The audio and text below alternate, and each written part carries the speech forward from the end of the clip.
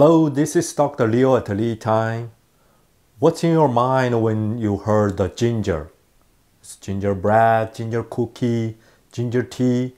Ginger has a long history being used in the food preparation and also the medicine use. Ginger has been written in the Chinese history book from 5,000 years ago and also recorded use in Europe in the 9th century from Germany and to France. And when I was a kid, I got a cold. My mom always slice a piece of uh, the ginger, put in the warm water, and add a bit of a brown sugar. This make me feel much more comfortable. It can help reduce the cold and also feel comfortable in the stomach. In the modern time, uh, research found that gingerol is the chemical brings the spicy flavor in the ginger. A lot of research proves gingerol has antioxidants, anti-diabetics, anti-cancer. You know, there's a lot of benefits. In this video, I will talk more practical knowledge about how to use ginger. We have a fresh ginger, dry ginger, which one is better and how do we use them? And we heard about ginger is good for hair growth, but is that true? And there's a piece of a study, they did a detailed analysis about the chemical in ginger and how that impact the hair growth. The results could be surprise you. And at last, I will talk about the uses of ginger tea and ginger essential oil and hydrosol. What's the difference between the tea and essential oil and hydrosol? And what are the benefits of these two different ways to extract the ginger?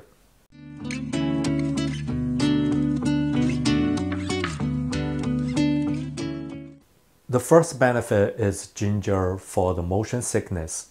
There was a study having a 18 male and female students who has the motion sickness. Each member in the test group was given 940 milligram of ginger and the compare with the placebo group having the medicine dimenhydrinate.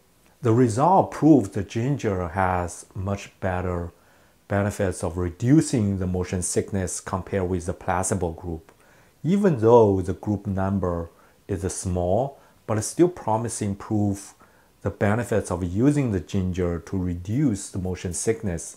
If you have the problem next time before travel, prepare a slice of a ginger or having the ginger candy with you. This can help you relieve and make you feel more comfortable. The second benefit is ginger to reduce the pain. Many clinical studies prove the benefits of using the ginger to reduce the pain. In one study, double-blinded, placebo-controlled experiment, the test group was given a 2 gram of ginger powder compared with a placebo group for the consecutive of 11 days. They prove after 24 hours of taking the ginger, it can help significantly reduce the pain caused by the exercise. The other study, they measure the ginger as a benefit on the menstrual cramps pain. And the test group was given the ginger 500 milligram a time, three times a day. And they show the five days of uh, the ginger treatment. That means two days before and three days during the period. And they giving the ginger make a significantly reduce the pain feeling and make them feel much more comfortable. So both of the study prove the ginger's benefits of reducing pains.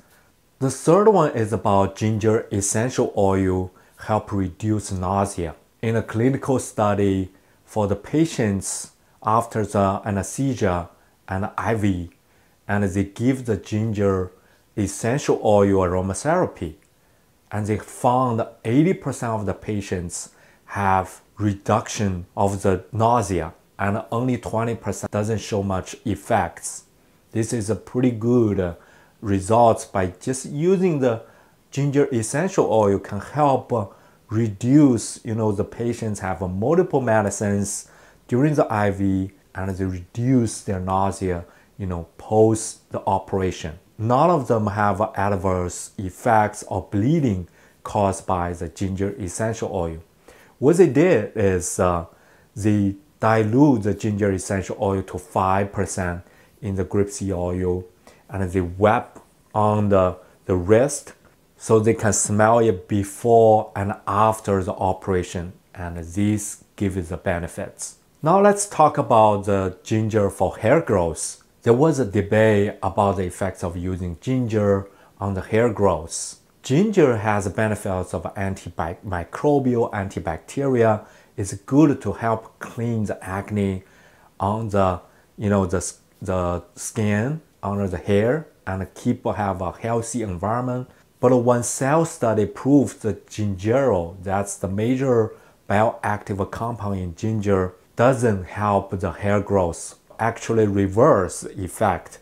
Gingerol help inhibit hair growth.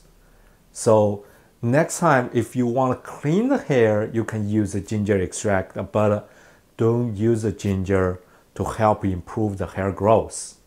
Now let's talk about the fresh or dry ginger. There was a study found that the fresh ginger does help relieve the constipation, but the dry ginger on the other side, it suck up the water and make a constipation. So it's good for diarrhea, but worse for the constipation. This is interesting. So research found that the chemistry composition from the fresh ginger and the dry ginger a little bit different. With water extraction, the fresh ginger can make more polyphenols like gingerol. Gingerol or other polyphenols are antioxidants. We know they are good.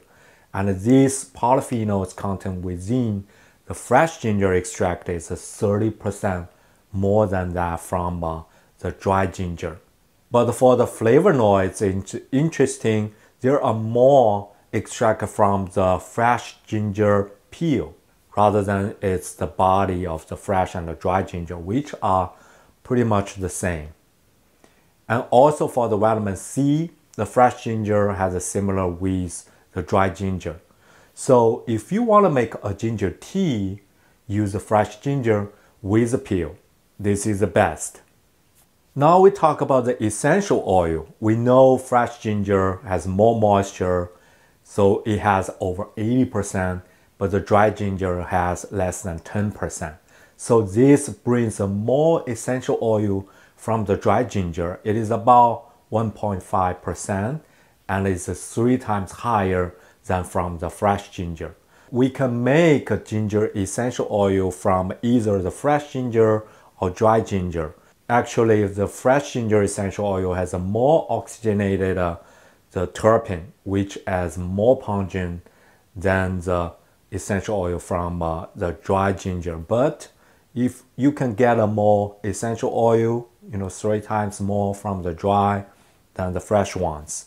So you can either use fresh or dry for your the hydrosol or essential oil making. Thank you for watching. Hopefully you learned something about ginger and how to use them, fresh or dry. And uh, please leave your question or comments down below. Subscribe to the channel and need your help to reach the 10,000 the milestone. This is Dr. Leo at the LeTime. See you next time.